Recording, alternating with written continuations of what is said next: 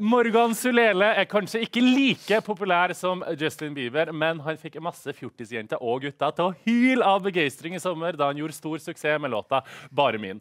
Og hva er vel da mer naturlig enn at Morgan Sulele coverer Justin Bieber på norsk for VGTV-seere? Ingenting. Se her. Hvis du blir min kjæreste, lar jeg deg aldri gå.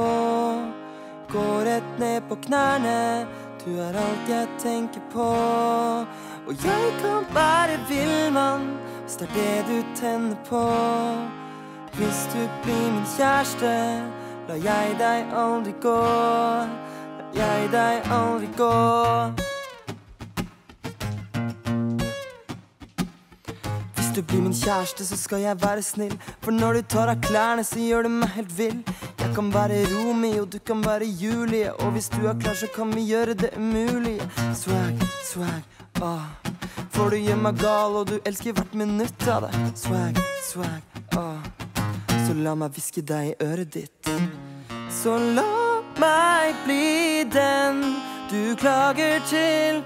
Så la meg, la meg si deg noe.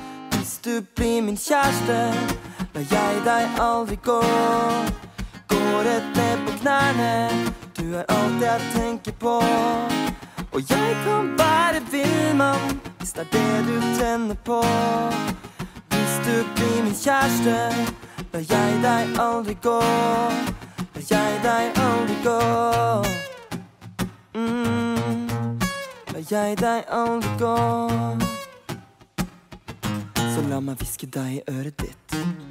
Så la meg bli den du klager til. Så la meg, la meg si deg noe. Hvis du blir min kjæreste, lar jeg deg aldri gå. Gå rett ned på knærne, du er alt jeg tenker på. Og jeg kan være villmann, hvis det er det du tenner på. Hvis du blir min kjæreste, lar jeg deg aldri gå. la jeg deg aldri gå. Lar jeg deg aldri gå. Mm-mm. Jeg deg aldri gå. Ah, fint, ja. Ja, bra.